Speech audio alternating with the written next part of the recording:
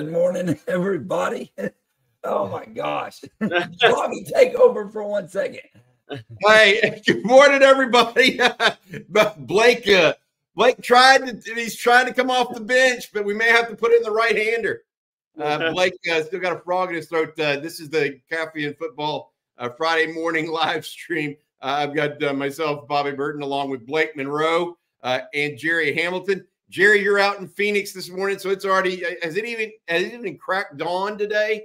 Uh, you're out there uh, on a volleyball trip with uh, a significant other uh, right now. Uh, so what's what's going on out there for you, buddy? Yeah, man, just kind of doing a little, uh, you know, spring. got my my sons out here with me. Actually, we see the Arizona State, see the stadium in the background here. Um, I, I, think they they all leave to go on their vacations this afternoon. They're a little different as far as the, you know, Texas coaches. Some are out of the country, some are on vacation. Obviously, Sark stuck around, but yeah, just uh, you know, gonna uh, yeah, have a little fun with my son here on this spring break too, and uh, you know, gonna take in a, a spring training baseball game later today. Phoenix Coyotes game Saturday. I've never been to a pro hockey game, so I'm excited about that. That sounds that sounds fun. It's good. I'm glad Jez, Jezik is going to get a chance to do that. Um, uh, also today we're going to talk a little bit about uh, the upcoming uh, spring ball. We got uh, Texas with spring ball starting. Uh, we got the official date. We knew it was March 19th. We didn't know exactly when uh, Steve Sarkisian and his crew would go uh, and take care of things. And that's going to be at 9 a.m. on March 19th. That's this coming Tuesday. Uh, so that is there. Uh, the timing also for the uh, uh, for the situation as far as the NFL Pro Day is going to be the following afternoon. so we've got a bunch of stuff to talk talk about today, as well as we're going to have two guests. One, Nick Shuley, who's the creator of Third and Longhorn, a good friend of ours. Uh, he'll be on to talk about his programs. Uh, we love that stuff, and uh, I think it's an opportunity for people to see uh, and hear behind the scenes some Longhorns uh, there, as well as we're going to have Drew Bishop, the former athletic director of operations for baseball. The Longhorns host Washington later today uh, in a three-game series that starts later this evening at the Dish. Uh, Blake, you want to try to take back over and ask people where they're from and what coffee they're drinking yeah. today? You want to think you got it now? I don't know. Please tell us where you're checking in from, what you're drinking this morning. Let's talk spring football. All right, let's, let's do that. Let's do that. Jerry, take it away. Yeah, so uh, so I want we wanted to give you guys a look at all the spring football game dates of the tech on the Texas schedule next year. Of course, Vanderbilt won't drop a date. I don't know. I mean, I, I don't know. Maybe they figure more people are going to be at a baseball game. Uh, but uh, uh, there you see, in a lot of these schools, Georgia already in the spring practice, right? I mean, oh, Florida well in the spring practice. I think they started March 6th. Uh, but then you see, and this is key just to get a look at, get a feel for the spring games. Also, you know, that competition in recruiting. You know, Oklahoma, Texas and Texas A&M have their spring game on the same date. So everybody's uh, competing to get guys on campus that weekend. I think that's why you see Texas having a big April 6th weekend as well, kind of get some of those kids on campus because you know you can't get every kid on campus for your spring game. Uh, so, you know, that's why you have the two, three dates, and Texas has some guys coming in that next weekend, April 13th, 14th. Some of those guys are like a Faheem Delane, out of uh, Good Counsel, one of the top safeties in the country, and Major Preston out of IMG. Um, and, and, you know, then you have the 20, 26 offensive line guys like John Turntine uh, and the kid, the, the monster up in uh, Euless Trinity. So I think this is kind of we wanted to see, so you guys could see. Okay, this is when the spring games are for all Texas competition. If we wanted to talk about that all the, on the schedule next year, and then also that, that's the competition in recruiting. Everybody tries to get kids to their spring game. Uh, you know, like Georgia is April 13th, LSU spring game, same date, right? Uh, Notre Dame's is obviously on April 20th as well. So a Damian Shanklin, who Texas is trying is trying has an official visit scheduled with out of Indianapolis Warren Central. He's already scheduled to be at Notre Dame. He's a Notre Dame lean. So it's just a look at the Texas schedule. Um, again, kind of the spring uh, practices, who's begun, what when these spring games are, and kind of how it ties in the recruiting, Bobby. Uh, yes, and and I would say this: the one that you know, just immediately striking, the traditional te- two traditional teams that Texas fights the most in recruiting are OU and A and M. Yeah, and to your point, OU, A and M, and Texas all on April twentieth. Yeah, Um, and I will say that we've talked about it before. Kids vote with their feet a little bit. Yeah. Early In the process. So if someone goes to Texas and not A and M, or someone goes to A and M and not Texas, when they haven't been the other place for these spring games, same with Oklahoma. Yeah, it tells you a little something about where they think they're situated right now, unless unless they haven't been to the other places as many times. Correct. You understand that and agree with that, Jerry? Yep. Yep. And so Texas, Texas A&M, and OU all having their spring games simultaneously on the same day, et cetera. That is going to speak to some recruiting nuggets that you can kind of look behind the scenes and get it get a gauge of. When you're talking about Florida and Georgia, um, those are different. I mean, if LSU were on the 20th, also you could That's tell right. a little bit, you could read a little bit into that. But uh, really, OU and A and M and Texas all at the same time. You know, it's going to be up to Texas coaches to get these guys on campus. Uh, I do think that they're going to have a, a really good turnout. Uh, in fact, I, I think that Texas um, is the kind of it school right now among those three, but they have to go out and do it now. The coaches And, have and, and, and also, Texas is focused April 6th on some of these kids too, as much or more than the spring game.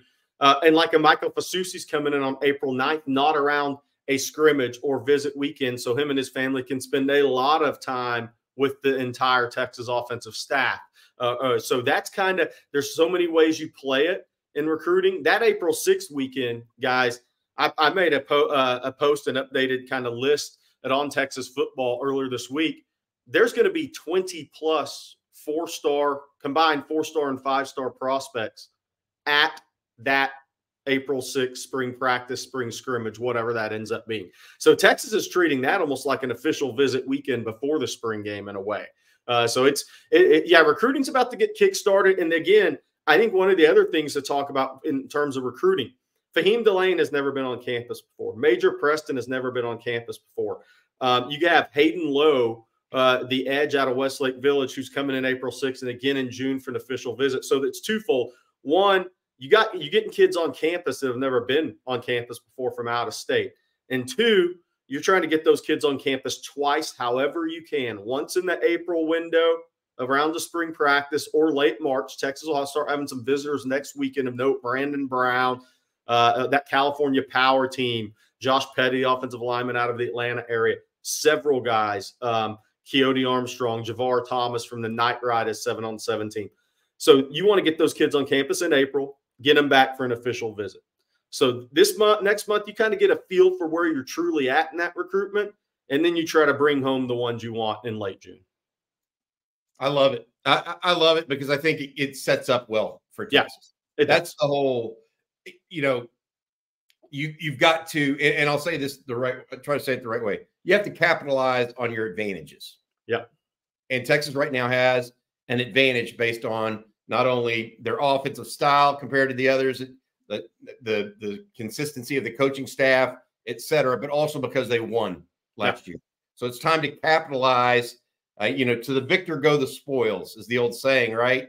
Well, let, let's let's enjoy some of the spoils. I, Yeah. I, I'm ready for Texas to capitalize in recruiting. And Zane Petty, 100% correct. Jamie Ffrench has never been on campus, Jacksonville Mandarin, and he'll be on campus April 6th, then scheduled to be back for June 21st through 23rd official visit. Obviously, that's a big national battle over in Jacksonville, Ohio State, FSU, and about everybody else. All right. Before we move on, Bobby, tell everybody about BKCW. yes, Blake, Blake, you've got a frog in your throat, man. Uh, I'll tell you what. Uh, let's get it out with uh, BKCW. Uh, did you or your business have a frustrating insurance or emplo- employee benefits renewal uh, around the new year? Most likely, you didn't hear from the agent in all year, and then right before it was set to renew, they delivered the bad news of a rate increase or some kind of change that you weren't aware was going to happen. Uh, when this happens, the agent is providing no value, and you're stuck in what we call the insurance trap. BKCW takes you out of the insurance trap by providing you with actual risk management consulting, not just price quoting. Uh, BKCW has already helped some of the most well known construction companies, restaurant groups, breweries, and other small businesses in Central Texas escape the insurance trap. And it all starts with a free risk assessment. Go to bkcw.com or send an email info at bkcw.com to get started with a free risk assessment or claims audit and get yourself out of the insurance trap. Again, they can save you money uh, while keeping you apprised of your options all year long. Okay, guys. I'm gonna try. All right, let's see. We got time for questions. So let's talk. Let's take some questions. James Lee, James Lee's comment is hilarious. Bobby brought him back from the tennis tournament in Palm Springs. He's sitting in the uh, Three. I don't even know. I don't. Hey, James, you're showing your age by remembering what Virginia Slims are. By the way, I don't even know if they make those anymore. No, Blake man. sounds like he's smoking three packs of Virginia Slims. hey, hey uh, I, I, think it's that pollen. It's starting, uh, yeah. to, starting to pop up. Uh, I started getting my little scratchy throat yesterday as well. So, uh, Blake, we hope you start feeling better, buddy, uh, and get that under control. Hey, but hey, you look, yeah, look good. You you look good. You may not sound good, but you look good. You got right. what Deion Sanders message. Look good, feel good, play good. That's right. He's got that 40 acres collection uh, sweatshirt on. Eh, that little light polo yeah. thing. Yeah. Those are nice. Very, very nice. Hey, um, I, I want to talk about uh, a little something else, Jerry, that, that we brought up uh, and have talked a little bit about as it relates to recruiting. Is, is there right now, do you sense that there is any kind of, I, I don't sense there's any kind of panic from Steve Sarkisian no. as it relates to recruiting or as staff. I mean, that that's not, I mean, they're on vacation, like you said, right now. Um, wh- where do you feel like Texas is right now overall in recruiting as they look towards the next month or two, where recruiting, along with, uh, frankly, along with spring practice, along with the portal coming up, that all takes center stage. Where where do you think they are overall? Well, I think that this staff is um, going to deal with something. It, it, Kyle Flood dealt with it last year a little bit. I think the Texas staff as a whole is going to deal with something in this class that they haven't had to. Success. Success means a lot of really good players, three straight top five classes in a row. Where do I fit in? What are my expectations? How soon do I get to hit the field? That's the 25 class. That's the thing. That's new to Texas because when they came in, the program was ant. You know, Sark sold the early playing time, the ability to come in and make a difference, which you still can do. You just get more questions now. Because when a team's five and seven, Kelvin anybody Banks, can play. Kelvin, Kelvin, Banks, DJ Campbell, everybody looked at that said, Yeah, I, I can do it. I can go in there and I can compete, you know?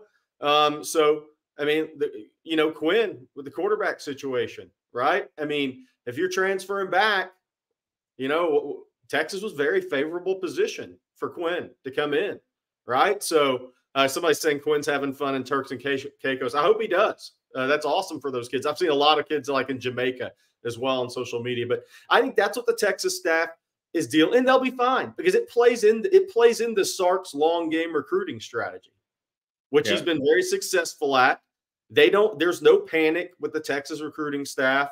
Um, they are aggressive, long term aggressive, not short term aggressive. Try to get these guys in the boat. Uh, they want.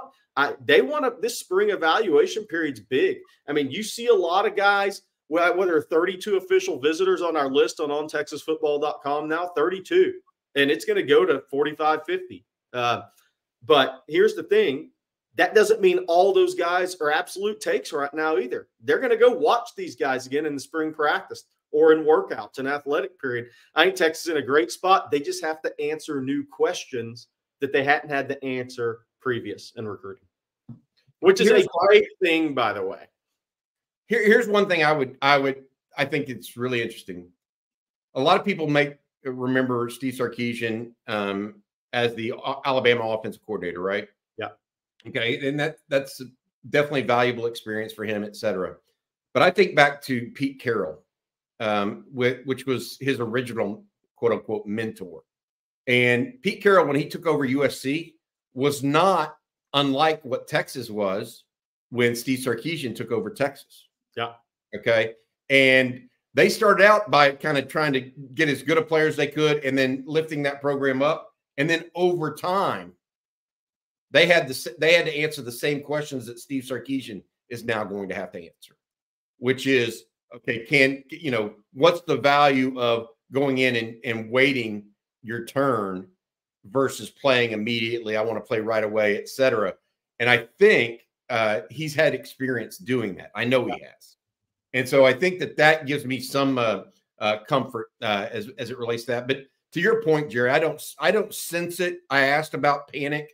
I just don't sense it. I've sensed it before. Right. Believe me.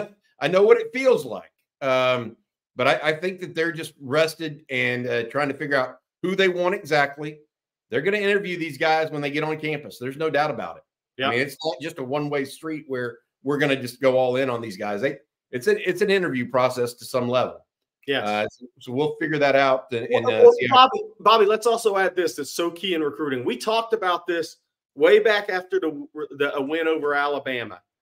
If Texas followed through and had a really good season, which they did. I think I just gleeked on the board, by the way. Um, so, um, which I haven't done since I don't know eighth grade. Um, so I, I think the, the, key was we talked about what if Texas went on and had a really good season, and they had a great season. I mean, they made the college football playoff, right? Short of winning a national championship, you had an amazing season uh, after eight and five. We knew Texas would be able to get more guys on campus, and that's what you're seeing. You're going to see yeah, I mean, you Damian Shanklin from Warren Central schedule an official visit. Throw out the Cali guys, but more Cali guys are interested. I think that's also coupled with USC, UCLA, Oregon going to the Big Ten. Do you want to play in the Big Ten? Do you want to play in the SEC? I think those moves opened up California even more for Texas. But think about the kids in the Southeast, the kids in Virginia. Texas has two guys from Virginia coming in in April. I mean, they're entering some new territory here and that's what beating Alabama on that national stage, staying in the national limelight all year, making a college football playoff. Now you're about to have all these guys drafted. This is kind of what we were talking about was going to happen. Now Texas gets to evaluate more football players in person. And I don't think we can stress that enough how important that is because Nick Saban, the biggest advantage to come coming with winning at the highest level for Nick Saban for 15 years, he got every kid to campus he wanted he got to evaluate them on the field and through a conversation and with their parents or people in their circle. That makes for a hell of an evaluation process. It, it really does. And that, that harkens back to something I saw firsthand back in the aughts, uh, basically. Uh, I, uh, Jerry, you remember uh, Justin Warren out of, uh, I think it was Tyler Lee at the time, and Tim Crowder out of uh, John Tyler. They were both defensive end edge types coming out the very same, same year. Justin Warren had better tape than Tim Crowder as a high school junior. No doubt about it. Highly ranked. Yeah, yeah. I mean, he was high, more highly rated, all that stuff. Both of those go down, guys go down to Texas the very same weekend. Texas reprioritizes Crowder ahead of Justin Warren, and the the the recruiting gurus were like, "Whoa, what what? Why is Texas? You know, well, Texas saw both of them in person and like and like Tim Crowder much more. And yeah. Tim Crowder's the one that ended up having the multi-year NFL career, yeah. won a national championship, etc. So I mean that's that that's the value. People ask, well, what you know, we can also that's the value. You get a real look under the hood right. of these guys and how they how they manage themselves, how they how they uh, uh, handle success, how they handle failure, how they compete that's really a big one for me whenever you start putting up these uh, top guys. All right, hey, guys, we're going to invite in one of our friends, uh, the creator of on, all right, creator of uh, Third and Longhorn, Nick Shuley. Nick, how you doing this morning, buddy? I'm doing great. How are you guys doing? Thanks for having me. We're not talking oh, basketball. We're to, yeah, we're happy to hear see you here, dude. You're you're uh you're looking pretty sly with that haircut, man. how, how, I'll tell you what, nothing nothing gets more hate on the show than my hair. So it is. Uh, I, I uh, luckily I was raised in a family where that's their uh, their form of love is uh, making fun of you, so it doesn't really bother me. I, I, what I said, Nick, is we're not talking basketball, so uh, that so I'm not. we're gonna we'll save that for another time. Uh, somebody Keep it happy. Said, hey, hey, Colton said Colton said love the Colin Simmons interview. I was going to go right into that. What were your takeaways? Because look, you got a chance to sit down with him, and I had to, and I got had a chance to multiple times in the recruiting process. You have now for the first time. What were your takeaways?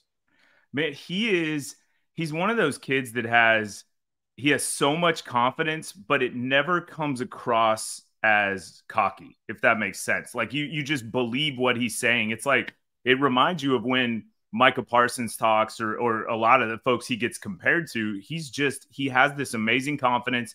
He knows his ability. He's like he's grown into who he is, is what it seems. And Jerry, you you've known him obviously way longer. Has has he always been that? Like, has he been on the radar since he's in seventh grade? You know? Yeah, yeah. I think uh, end of his freshman year, you know, really, I think at Duncanville, if you're a really, really good freshman, because every college, major college comes through. So they're doing the same thing I am. Who's the next guy, Coach Samples? Well, I got this defensive end kid that has a chance to be a really big time player. Uh, but I think Colin is always the one thing about Colin. I think he's street smart. I think he's always understood the process of recruiting, um, how to present himself. Um, and, I, and the guys that understand that, I think, at a young age, that they tend to do pretty well. Yeah, yes, because there is an uh, there is an understanding and art to it, right, Bobby? Yep, absolutely. Hey, hey, uh, Nick, I got to ask you a question. When, how did you come up with the idea for Third and Longhorn? Because I love it. I think it's great.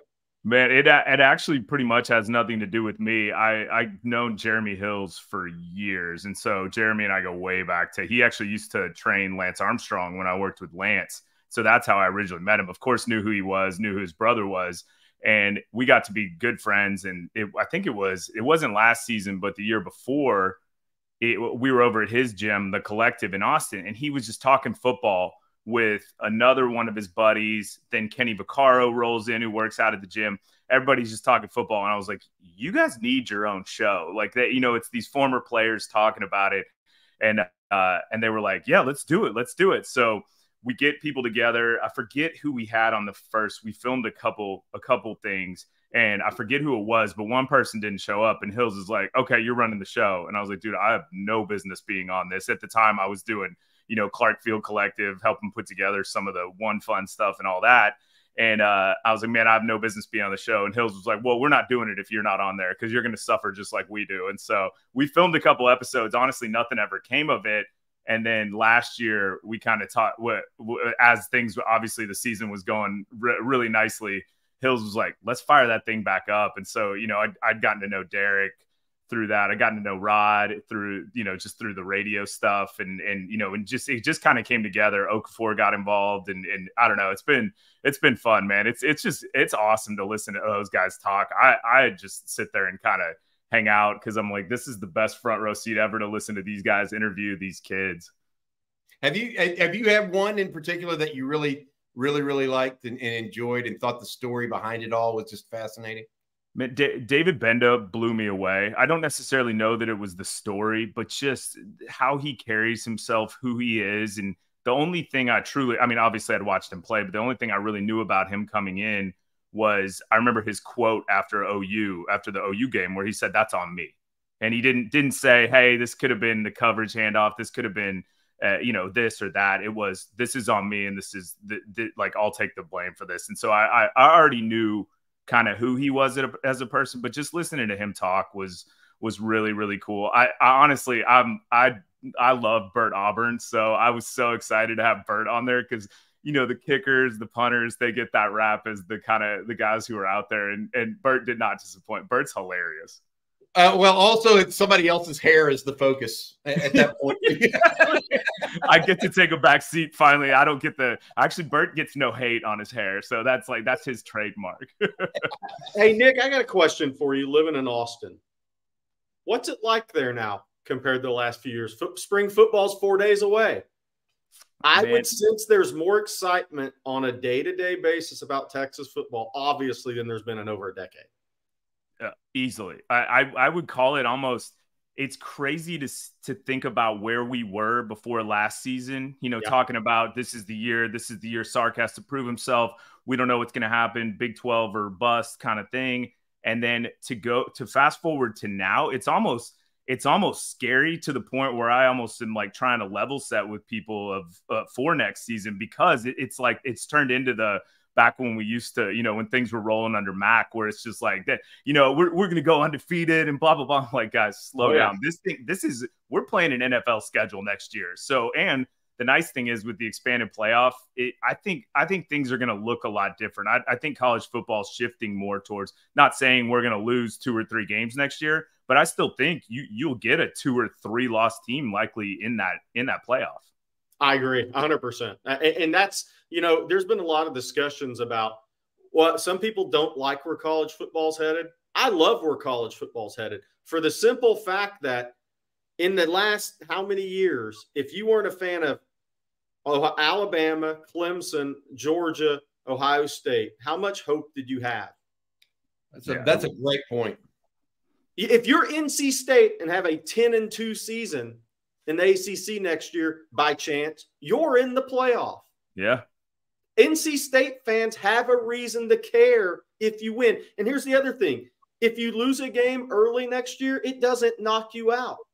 There's been some years where you're like, eh, well, I mean, season's over in that regard if you had those expectations. I think what's going on now, and just with March Madness right here, you get to see it in bright lights. More fan bases have. Uh, I, I agree. It's the best time to be a Texas fan. We're sitting kind of in the we're in the catbird seat here, man. We are, you know, we're sitting pretty. We have a great city, a great program, a great coach, and the and the more and more I get to know them, amazing kids, and you see the program and you see the people, and I think we're in the right spot. I can see though the other side, but my family went to Washington State, and they you yeah. talk about you talk about getting in the, the, the short end of this thing. They're trying to figure out if they can find a conference, you know that that side of it. But you know, back to us, it's the right time to be us. That's what my cousins were saying. They're like, man, we're so jealous. We used to be excited about football. well, look. So for instance, for instance, I'm here and uh, I, I, can see Arizona State Stadium from my hotel uh, balcony. Okay, a 10 and 2 season in the Big 12 by Kenny Dillingham at some point. I'm not saying next year, at some point, he's in the playoff. When is Arizona State? When's the last time they had any hope in football? Yeah. That's the so when people say college football's we're headed to a terrible place, I think we're I think we're headed to a great place. We just got to get there. Yeah, we're gonna get some Cinderellas. We're gonna get some of those stories. You know, in college football, we I mean we don't really get the Cinderella. Every right. once in a while you get the Boise States, but it was never they were never in danger of winning the whole thing kind of you know and so i think this is you're you're totally right jerry. This is it is it's I, i'm the most excited i've ever been. Yeah the game shifted. Lots of things have changed but it is it's it's it's it's just fun to be a college football fan man. It's you're getting me excited. We, and, and i we're not even on the spring game yet so. Hey nick before we let you go thank you for joining us by the way. That's third longhorn nick shuley creator of it joined by guys like our rod babers as well as Alex Okafor, Derek Johnson, Jeremy Hills from time to time. You got a, a, a true cast of Longhorn characters on that show. It's just uh, tremendous. Uh, what do you got planned? What do you got in the hopper? What do you got coming? Uh, and who? Don't forget Fozzy. He'll kill me if oh, I don't. Fozzy. I don't oh, yes, Fozzy. no, you cannot forget Fozzy. I my apologies. Um, hey, uh, uh, Nick, what do you guys got planned in the hopper coming up uh, for that people can uh, be excited about? Yeah, we got we got some cool ones coming up. We got Alfred Alfred Collins has already come on. We taped his. We taped Barryn Sorrells, Liona Lefau, and then last this past weekend at South by the UT folks asked us to to do a live taping at the Hook'em House, which was fun. It was it was definitely interesting to to kind of shift the environment and not do it in our little you know studio, but it, it was great, man. And we had Quandre Diggs on, and that was cool to hear. We had, we actually reached out to Quandre it was the day he was cut. And it was no lie, 10 minutes before he was cut, Fozzy texted him and said, Hey, do you want to come on the show? Quandre's like, let's do it. And then 10 minutes later, I texted Fozzy the tweet that, you know, Diggs had been cut. And I was like, man, you think Diggs is going to still do it? And, and Fozzy's like, I think he'll still do it. He texts him five seconds later. Diggs hits back. He's like, I'm in. And man, he was listening. That one blew my mind because you listen to to a professional, you know, look, they're superior athletes already, but listening to them talk football and listening to like Rod and Derek Johnson talk, you know, coverages and, and just everything they do. It, I mean, I thought I knew football and I'm like, man, I'm, I, am i am at like, I'm at like high school level compared. They're in the graduate, you know, master's degree. It was pretty impressive. Nick, to your point on Quandre, I, I covered him at Angleton in high school. We had him in the Under Armour All America game. The, what, what you talked about? Mm-hmm. Oh, we I think we lost Nick there. But what Nick was talking about with Colin Simmons, Quandre was like when he was 16 years old. Same thing. Quandre's always been a professional at a young age. When you talk, maybe it's because Quentin Jammer, right, is his brother. But when I talked to Quandre at a young age, he seemed like a professional at 16. So those guys never surprised that those they end up making it and, and learn understanding how to maximize their talent. All right, looks like we lost Nick, uh, but he, he came in uh, for a little bit there. Hopefully, he. Uh, I'll talk to him later today and say thank you again uh, as well. Nick is someone that I got to know about a year and a half, two years ago, right when, uh, frankly, right when uh, the NIL started. he was helping start the Clark Field Collective, Uh, and uh, Nick, a great guy, great Longhorn. Appreciate him uh, being on with us this morning. Jerry, I'm going to pitch it to you now and let you do your morning commercial from Mando. You know, you know what I didn't forget on this trip? Man, that Mando, that deodorant, right? My guys, you, you ever lift a little too hard or just forget to apply your daily deodorant and get hit by a truckload of BO from all directions? By the way, like TCU basketball going 17 to 73 from the floor yesterday. Does that three in one shampoo leave you needing a second shower just a few hours after the first? From the founders of Lume, Mando Whole Body Deodorant is helping men conquer their odor in a new way. Formulated with mandelic acid, Mando has a long lasting 72 hour odor control that actually stops odor before it starts. Best part is you can put Mando everywhere pits, packages, feet, skin folds, back, knees, everywhere. To top it off, Mando's cologne quality scents were created with men in mind. Pro tip try their best selling scent, bourbon leather. It's a game changer. Only time bourbon for breakfast may be good, by the way. Once you experience fresher underarms, a fresher package, and fresher feet, you'll never go back. Special offer new customers get $5 off a starter pack with our exclusive code and link. Use on Texas all caps at shopmando.com shopmando.com. TCU basketball, you needed some Mando last night. hey, by the way, the only time bourbon is good for breakfast, I, I, would say I would I would say some people disagree with you because I saw some at the Kansas State game this year. Yeah. they had bourbon with donuts. So that was that was their comment. That was their comment in the uh, the uh, pregame tent tailgate area. By the uh, way, Ski, Ski Breck, no, that's not. I was not joking. TCU shot 17 of 73 against U of H yesterday in a game. Man, I don't know if I could shoot 17 to 73, 73 without with with. I don't know. that, I, I that's that's bad, Jerry. Have you? Bad. I mean, we're we're uh, is that less than 25 percent? I guess, or right at it? Oh yeah, yeah. Yeah, that's that, that's in the 20, that's in the 23% uh, category, I'm pretty sure without looking. Cool.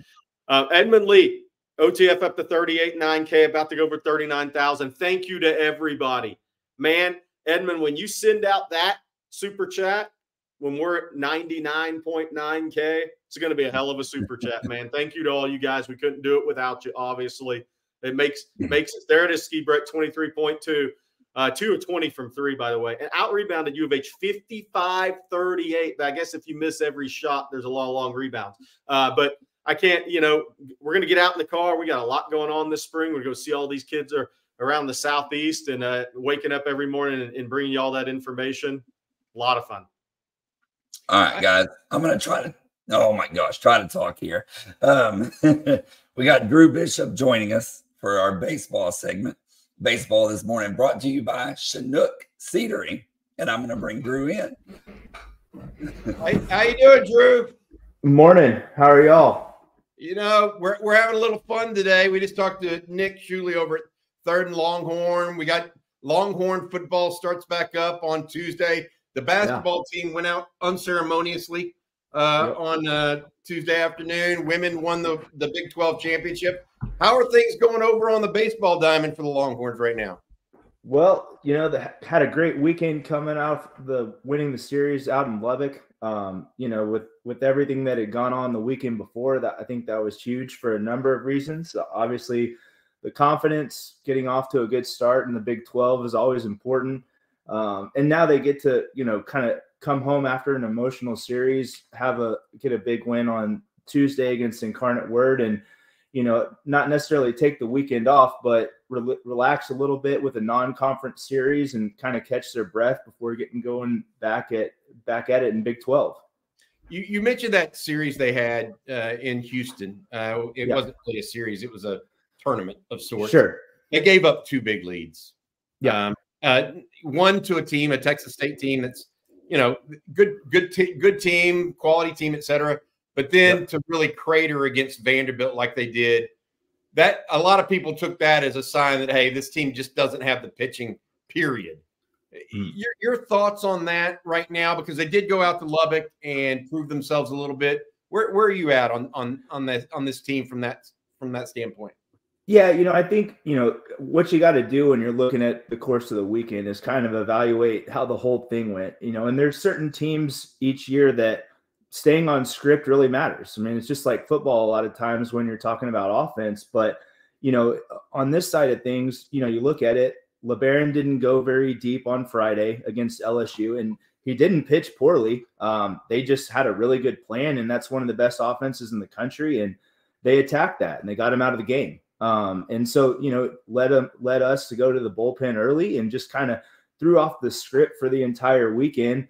And then you get in some of those high scoring games later in the weekend, you don't have some guys available. Um, and when you're thin in the bullpen and trying to figure out roles still uh, at this point in the season, that can be tricky. And I think that played a, a huge part in what happened. Um, you know, and then you turn around and flip it uh, last weekend in Lubbock and you get some good performances out of those guys out of the bullpen. You you know Ace Whitehead going out there and you know have an extended outing on on Friday night was huge. You know because it allowed you to save some guys for for Saturday and Sunday and you know kept a guy like Gage Boehm fresh who was then able to finish it off on Sunday and go four innings to uh to to get keep the win. So you know I think one thing that it looks like it's probably pretty clear is you know to win and keep winning at a high level for this team, they're going to have to stay on script. And you know, a lot of that starts with how how deep Lebarron's able to go on Friday. Um, and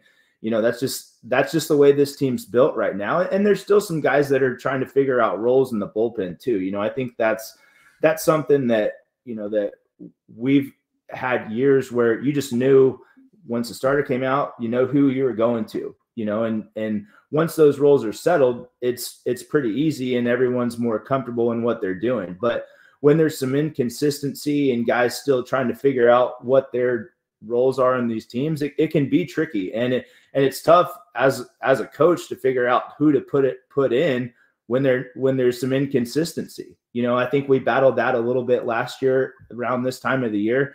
Then we hit this stretch where it's kind of a, a lighter stretch for three weeks. Last year, it was about the same time too. And that's when we kind of hit our stride. So, you know, I, I, think guys, you know, and we've had some guys banged up on on the mound a little bit. You know, Luke Harrison, David Shaw still coming back from um, from some offseason injuries, and you know, for some guys it just takes more time than others. Um, but you know, it's yeah, Shaw's made right. You know, I think they're very confident in Luke Harrison still. And those guys haven't pitched as well as we expected uh, to this point, but I don't think by any means they've given up on them. And if those guys start turning in some good performances, this thing looks completely different. Uh, and, and, you know, it's funny, like I, I'm victim of this myself, but I, I was just before I hopped on, went to the Big 12 site to just kind of check the standings and see where people were at. You know, statistically, you know, it feels like the world is falling uh, with the pitching numbers if you just look strictly at the numbers. But hey, like we're still fourth in the Big 12 when it comes to team ERA. Um, and so that bodes well, I think, for us. You know, the offense has been great. Uh, I think it's going to continue to get better. Uh, uh, and when you look at the numbers of the other pitching staffs in the Big 12, we're going to score a lot of runs. I think that things that's pretty certain. So um, as these guys continue to settle in, you know, I think Lebarron's going to be more than fine. I know we know what we've gotten him, and you know, get him back at home, uh, starting in hopefully with better weather over the next couple weeks too. Um, you know, I think that'll play a big role. Just, I, it, but it will be critical to keep keep him on script or keep the whole pitching staff on script starting with Friday. I think that'll be a bigger deal for this team maybe than some in the past, but um, you know, the on the flip side, we'll be able to score some runs. So that's encouraging. Hey, Drew. Hey, Drew, hey, Drew for um, for the guys who are more casual baseball fans, right? Not mm-hmm. the diehard fans. Yeah. One, I want to get your thoughts on the move to the SEC next year because I think it's t- maybe tougher in baseball than any other sport. And yeah. two, who are the major players in NIL and college baseball right now? Because Texas fans know the major players in football, but I think outside of LSU, who are the major players in baseball right now? Yeah, so from an NIL perspective, uh, you know the top of the SEC does a really good job. You know, obviously you mentioned LSU, uh, A and M has done a really good job with it to this point.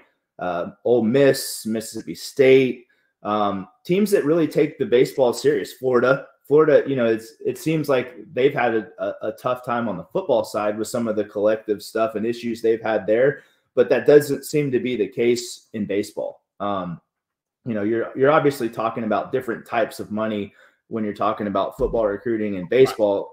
Uh, and, and, you know, to be fair, just like I think a lot of the football, I would say probably 90% of what you hear is going on on the NIL stuff probably isn't true or is maybe a tad exaggerated. Um, you know, but where I think, you know, I think right now we would probably be middle of the pack, low lower levels uh, when it comes to the NIL, uh, just strict volume wise um, and everyone uses it uses it differently. You know, I think the, the goal for Texas has been to make as many guys whole as you can. You know, get them to where they're not having to pay anything, and I think that's a healthy way to look at it.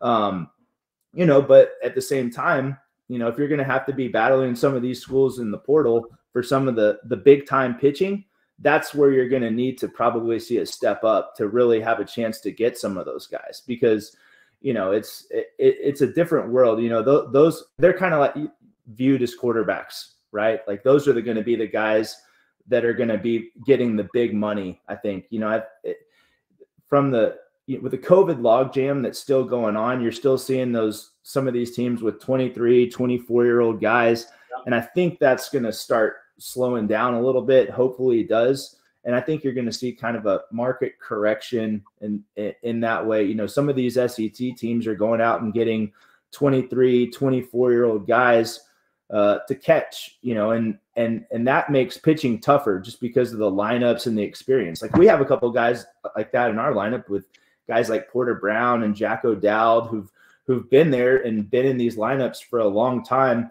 And that just makes the pitching tougher and tougher because you know for some of some of those teams those guys are down towards the bottom of the lineup and you're not getting a break you know? And so i mean like i said if you go around if you go pull up the big 12 statistics i mean you've got half the league has team eras worse than a five you know? I mean texas tech's era is a team era is a six right? And so you know the game has changed a little bit with having the older guys on the offensive side. Um, but I guess back to your original question, I think, you know, from an NIL standpoint, to be competitive, we're going to really need to step that up to get some of those premium premium pitchers that you're going to have starting on the weekends. Um, Hey, like Paul Skenes uh, right. was a transfer right from Air Force.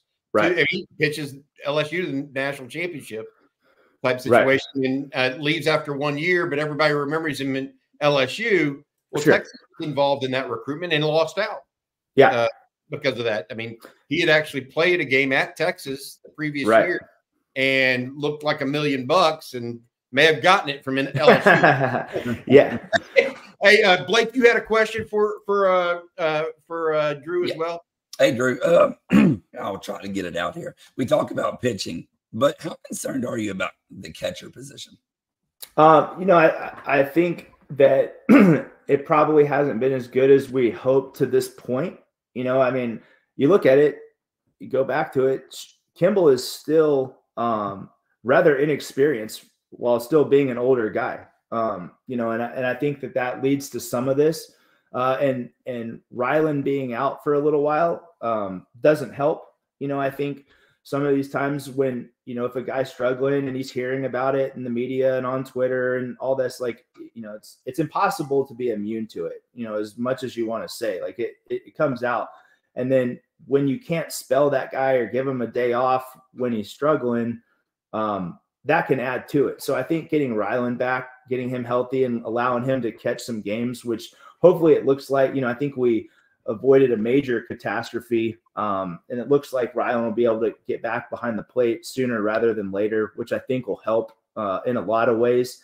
You know, and it's just for a lot of it, it's kind of like it's a it's a confidence thing. Um, and you know, it's it's tough, you know, and it, it's tough when you kind of spiral like that and have some bad games. But you know, the on the flip side, I think you have to commend him because it hasn't let him affect his offense. You know, he's he's done a good job offensively and and helped be a force there. And you know, Rylan's kind of hit his stride offensively too over the last couple weeks. So you know, a lot of times the defense can carry over to the offense and vice versa. So hopefully, with these guys getting more and more confidence from their offensive play, um, ho- hopefully you see that spill it spill over to the to the catching side of it a little bit too. Usually it works the other way, but I think that that you know that there's definitely a possibility of that happening as as the season goes. And like you said, I mean, experience matters at that position. So you know, even though Kimble is older, he missed most of last year with with the injury. Um, and so he's relatively young for college catching terms. You know, it's it, it's just one of those positions that reps are are what make you better. And there's going to be some struggles for a lot of guys. I mean, shoot, we went through it. I mean, Cameron Rupp played in the big leagues. His first year was my senior year, and it was like, man, like this guy, like what are we doing? But you know, by the time he left, he was one of the best defensive catchers that we had a, for a long time and played in the big leagues. Um, so it's it's a tough it's a tough spot. You know, I know you know I think he'd probably be the first to tell you that he wished he'd played a little bit better, but you know I think the hope is that you get both of those guys back in there, um, gives each of them a little bit of break, and and some of those guys just seem to they catch different pitchers better than the other one, right? So. Uh, and you saw some of that early, early on. Like you know, Rylan might catch this guy, and Kimble might catch this guy. So that brings that back into the fold. You know, if you have a guy starting it may make more sense to play Rylan one game, or you know, Kimble may just catch this guy different than the other. So a lot of those little things can kind of factor in. Um, but you know, it does. It it it can be. It's it's a lonely feeling. I don't know if you guys remember 2019 when we lost DJ Petrinsky uh, to a shoulder injury early in the season, and then you know Michael McCann went from being a really good backup to an average to below average starting catcher every day. And then he felt some of that too. Like he carried the weight of not doing very well at times, very heavily. It affected his offense. And then he got hurt. And we had to go get a guy that had not made the team that was just walking around campus and get him back to start against A&M the next week. So, I mean, it's having a having a, a tough spot at the catch or, you know, not performing well there, that that trickles over to the pitching too. So that's that's the one thing that I think they're going to have to guard against at that spot. But I, you know, I, I feel confident that once Rylan comes back, it'll help things quite a bit. Um, kind of spell Kimble and you know just kind of give him a, a breather, really. Uh, hey, Drew. Uh, speaking to Drew Bishop, uh, former uh, uh, director of player operations, I believe, for baseball. Mm-hmm. Now yeah. still involved, heavily involved with the program in a kind of tangential way uh, follows the Longhorns extremely uh, heavily. Drew, I, I, had a question for you, and, and this is yeah. just a, a, who is the next guy that's in the minor leagues that's a Longhorn that's going to be playing in the big leagues? That's all. Dylan Campbell make a hell of a catch. Yeah. Um, I, I, next guy. I think you know it's probably going to be a race between Ivan Melendez and Ty Madden. Um, would probably be my guess. You know, I think those are um, uh, kind of hoping that selfishly I have them on some dynasty fantasy leagues, but um, but yeah, no, they uh, I, I, Ty's had a good spring it seems like, and you know Ivan's you know for for the pitching it's a lot easier to get up just because there's more opportunity. Um, you know, and position guys it just kind of depends upon who's in front of you and how they're doing and injuries and stuff like that. But I would guess it's probably one of those two guys. Um, but yeah, we've got a couple guys knocking on the door. Um, you know, it's it's nice to have a, a healthier group of guys. You know, you've got Silas Ardoin. I think, you know, I'd be shocked if he doesn't play in the big leagues. Um, so I, yeah, I think some of those guys are gonna have change. Mike Antico uh, has has had a good has had a good start to his minor league career. Um, uh, shoot, I'm probably forgetting someone, but yeah, it's it's it, it's tough because you know a lot of it, you know, you have to do well, but it also is very heavily dependent on who's in your organization. You know, I think I, I don't think people realize how much that matters uh, for the for for the most part when it comes to baseball and the minor leagues. Like, I mean, the easiest example to use is if you were a shortstop in the in the Yankees organization for about 20 years, you were kind of SOL there for a while, you know, and and yeah, you weren't you weren't beating out Derek Jeter. Right, right, right. All right. Hey, hey, Drew, thanks so much. Uh, you're going to be out at the dish tonight for the Washington game, and or no, I'll I'll be at a, I'll be at a high school game uh, out here in Rockwall. Get the Rockwall versus Heath showdown. So got to be doing some work, but I'll have it. I'll have it going on my phone, and then hopefully catch the end of it when I get home. So all right, all right, Drew Bishop. Thank you so much, Drew. You have a good one.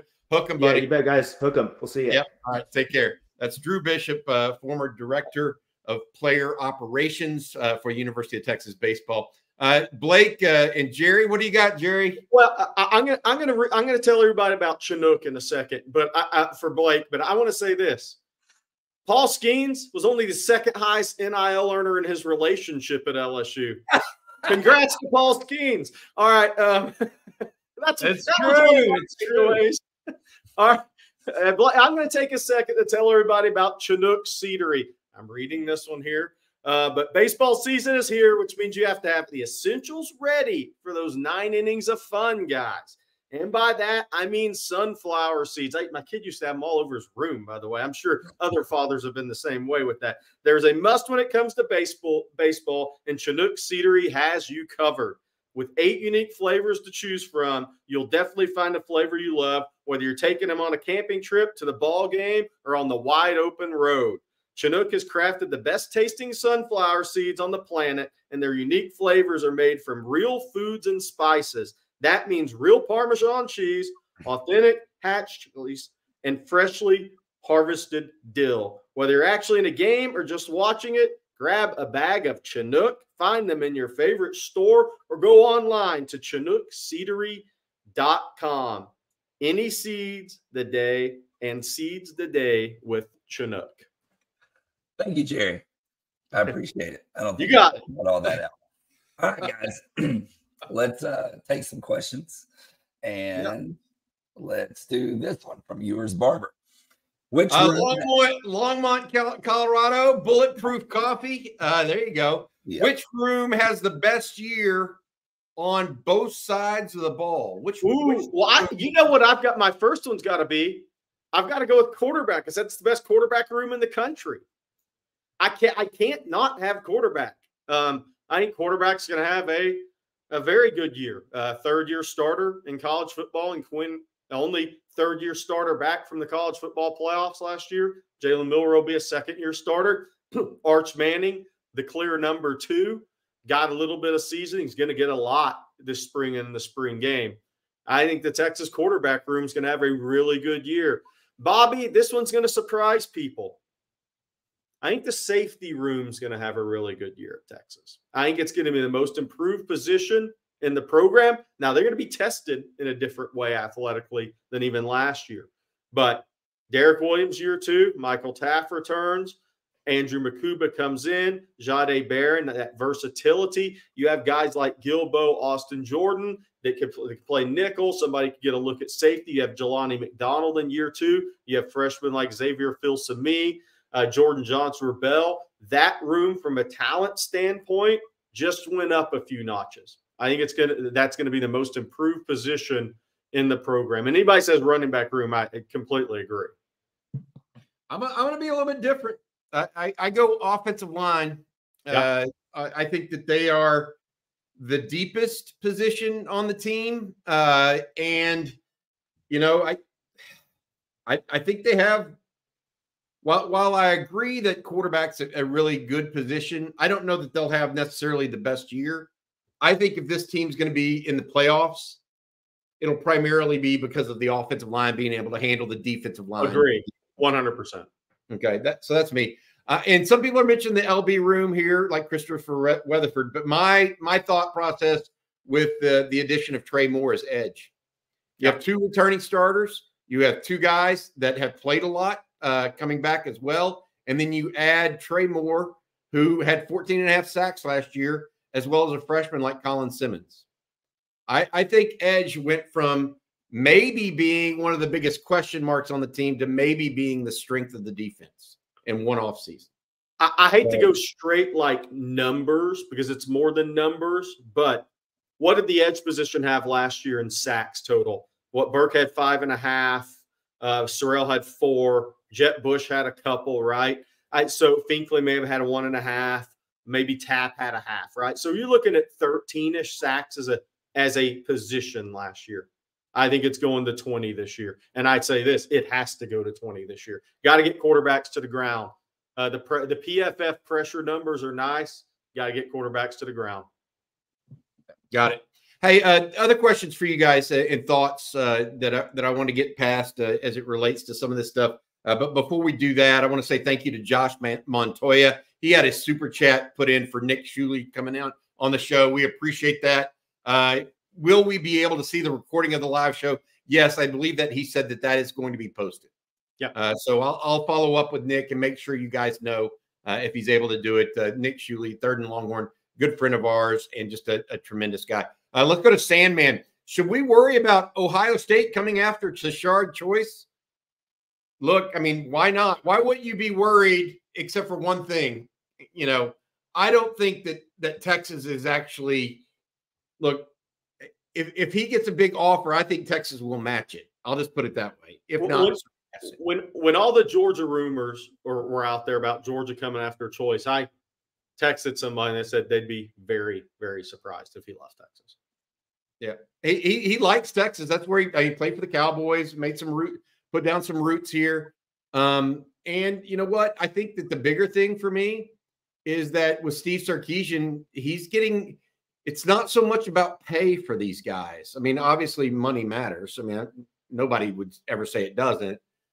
But Jerry, you and I noticed something this offseason that that rings true.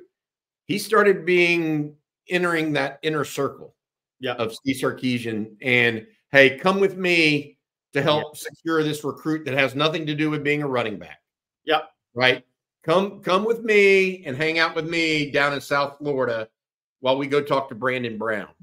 You Louis know, Michael Fasusi. Yes, yes exactly. All those kinds of those kinds of things are, yep. are what matters. Yep. Right. And so you is he going to get that with Ryan Day? That kind of respect? I don't think so. And so if Texas look, and, and also Texas isn't Texas A&M. We don't lose our athletic director to Ohio State. So that's a different story. that alone should make him stay. Yes, exactly. Is that plane that he sends to get Brian Bjork may turn get turned or oh well it won't now. got turned, you know, you know. Yep. All right, guys. Next question. Bobby. um, uh, Zane Petty, I'm all in on taking Russell and having two QBs in 2025. I think Russell can be a great college football QB. It helps with DK Moore and DFW recruits. What say you guys? And this is uh, you know, Texas already has a commitment from KJ Lacey out of Saraland in Alabama.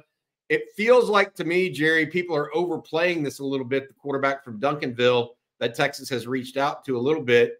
Uh, you, you feel like they're overplaying the idea of, of Keelon Russell right now, the quarterback at Duncanville, and making this a, a two QB class for Texas? I, I think that is uh in you know that ball is in KJ's court. Now, KJ has April sixth unofficial visit, April 20th for the spring game and June 21st through 23rd official visit. He's got three visits set up with Texas. He, you know, Texas got him to cancel that visit to Ole Miss the late last week in January, early February, right? Uh, but that recruitment has continued, and that's not to say I don't think KJ. I think KJ wants to be at Texas. Um, I think that with Quinn, when Quinn returned, that bumped back Arch Manning's timeline, and that gave a lot of ammo to those that are still recruiting KJ Lacey, and for good reason. I mean, eh, you know, for good reason. I mean that that's that changes the timelines. The quarterback is the one position where the timelines really matter a lot because only one guy's on the field, and that guy has to get hurt for you to get a chance. I mean, so um, that that's a uh, eh, eh, those are real timelines for families and, a quarterback. Uh, but look, Steve Sarkisian has a great long-standing relationship with David Morse at QB Country. Arch Manning started training there in third grade. Um, I think uh, David Morse worked with Eli Manning at some points in Eli's college pro career. Uh, KJ Lacey's been with him since third grade. There's uh, great relationships there. Texas has a great feel for that recruitment. I think what I think what Texas is doing is smart as well, though, in recruiting. You, you, you got to you got to keep recruit. If somebody's still taking a look at other places, you have to keep recruiting guys too. You can't get caught with zero at that position. Sark's not going to get caught with zero at the quarterback position. All right, Bobby, you ready to tell everybody out there about BKCW? Yeah, absolutely. Yeah, we talked earlier about the insurance trap. BKCW tries to take you out of the insurance trap where uh, your business's insurance agents are actually doing work for you, not just filling out order forms. Uh, they actually in, involve themselves in actual risk management consulting, not just price quoting.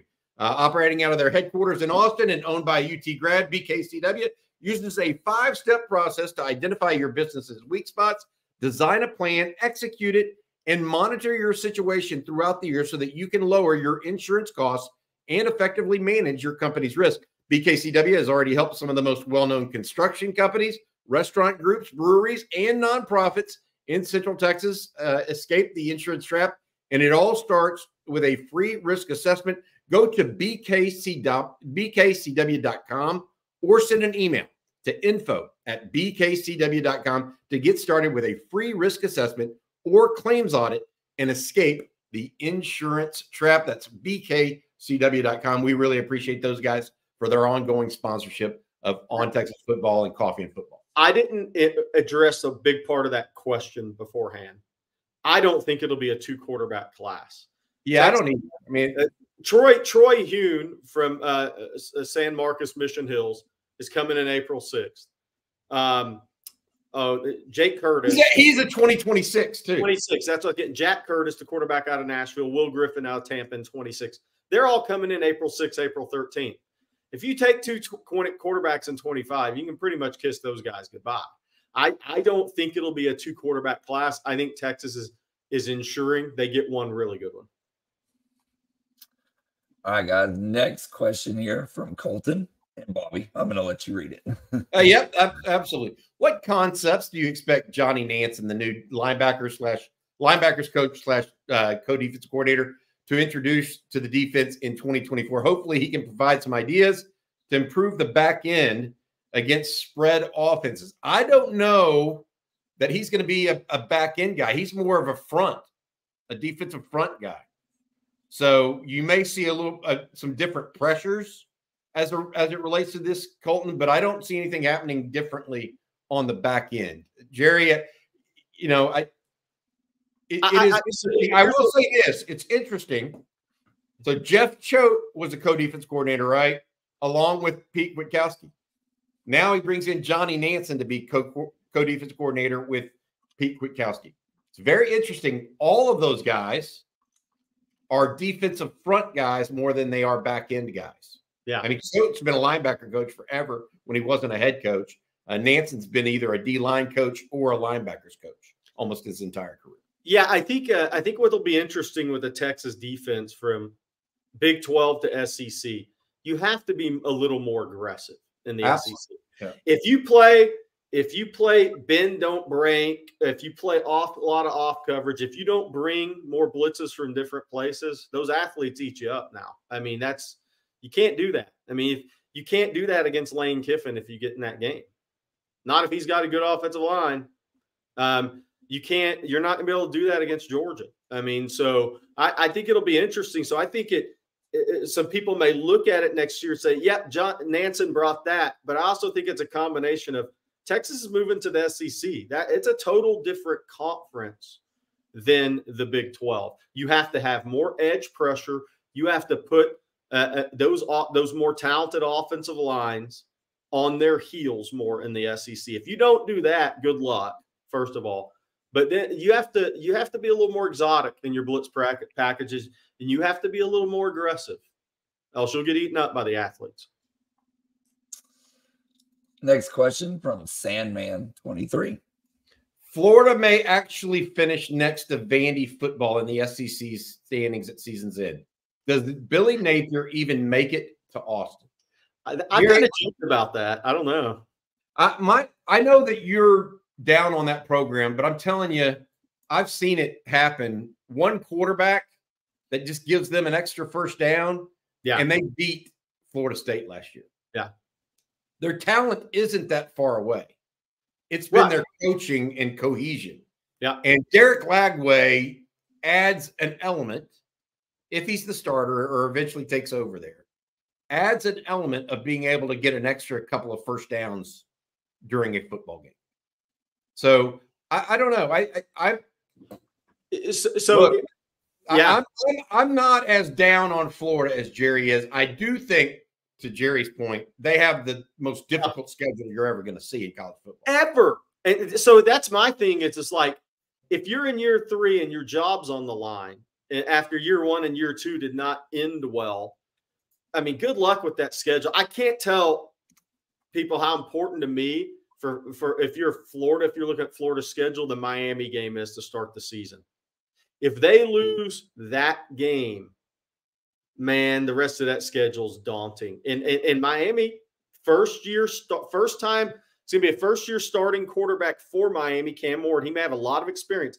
Florida has to win that first game at home against Miami. If they lose that game, just look at the rest of that schedule. I mean, like it's favorable in the first six, seven, but if you're not sitting there at what uh, four, five, six, if you're not sitting at least at five and two after Kentucky, look at what's after that. They they have to be five and two after Kentucky. If they're not, look at November. Whoa, that may be the toughest. Georgia, Georgia, Texas, LSU, Ole Miss, Florida State. Hey, they had some bravado to put that SEC championship game. That's a college football playoff right there. That's that's a there. That's an NCAA tournament as a ten seed having to win, beat Georgia, Texas, LSU, Ole Miss. Fl- I mean, just think about how hard that is in any sport. No, thank you. I, I I would raise my hand and say no, thank you if I was Billy Napier. But then again, I'm not getting paid five million dollars a year to coach a football team. So to, to so to the, uh, the uh, point of the question is Billy Napier even in Austin? He doesn't beat Miami and he doesn't beat Mike Elko in year one at a, and those games at A and M and those games are in Gainesville. With what's after that on the schedule, I don't know. He better he, he he needs to win. He needs to beat Miami to start the year off right. All right, next one, guys, from David Keith Williams. Hey, David. Uh, this one's to you, Jerry. You mentioned safety as being a good position group for UT in 24. I have questions about Andrew Mukuba, who has been a nickel the past two years. So start he was, safety is first year. I think one of my things is look, they got to answer the bell physically in, in, in the SEC, right? But I think versatility, speed, experience. I, I think I think they they took a big step up. Now I think they took a big step up uh, in, in at the safety position. I think is a really good cover guy, Bobby. I, I don't know about you, uh, but I, I think I think that is his strength, obviously, as a nickelback safety. Yeah, the, the issue is is he. There have been some people that thinks he's uh, think he may be a little soft. He's only 182 pounds. Okay, so we'll see what what what happens. Uh, he is a he's a guy that had not made a lot of plays on the ball either, which is a little concerning. But he's also a three year starter on a team that's pretty been pretty salty. Not Yeah. not it's not a throwaway football team, Clemson. Even though they've had their their struggles, uh, they're a good football program. So I, I I think everybody, and the reason why you're you're saying him, I think I think they're good. I mean, I think he's a good player. The question, I don't think he's a first round draft pick. Right. I'm trying to. I'm just trying to Yeah. uh, temper expectations. I guess is the best way to put it. Um, my my take on on this the safety position overall is how much experience they have coming back, combined with guys that I think are NFL players. Like I think Derrick Williams is an NFL player. I think Andrew Mukuba is an NFL player. Um, Michael Taaffe may not be, but he's got a lot of experience now. Uh, you add in someone like Jelani McDonald, who has the so- sort of athleticism he does. Xavier Filsaime is another guy that has that elite athleticism, and all of a sudden you're building guys. You're building a room that that uh, looks pretty daunting and, and impressive, in my opinion. Uh, so I, I, have no problem with with you going with the safeties as, as one of the top ones. All right, guys. Last question for today. It's from James Lee. Okay, James. Uh, would what would you guys think if Sark wanted to bring in Norm Chow for another set of eyes on the opposite, offensive side of the program? That's interesting. Norm Chow. I haven't heard that name in a long, long time. Uh, former USC offense coordinator. Former. I mean, he coached. He coached Philip Rivers at NC State.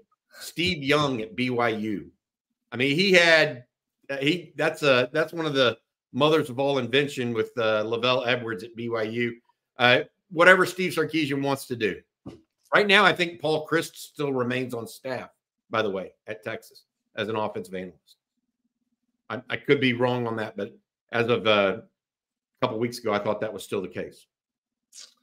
Patrick, Patrick Page, uh, Page, we did talk about Colin Simmons uh, being the face of Texas. We kind of talked about that in his recruitment. Uh, I, I, think I think Colin is super street smart um, and he understands everything in his sport, college football, recruiting, brand, everything around him, and how to maximize that. And I think uh, the University of Texas has a outside of the football has an extremely strong appeal in that regard to him if you know him and know his personality a little bit and that's a great thing for texas um, i absolutely do think he saw he saw Kelvin Banks and what happened with Kelvin Banks, and then what happened with Anthony Hill at Texas. And I think he can see the same thing for himself at the University of Texas. Yes. Good stuff, Jerry. He's got to go get it done.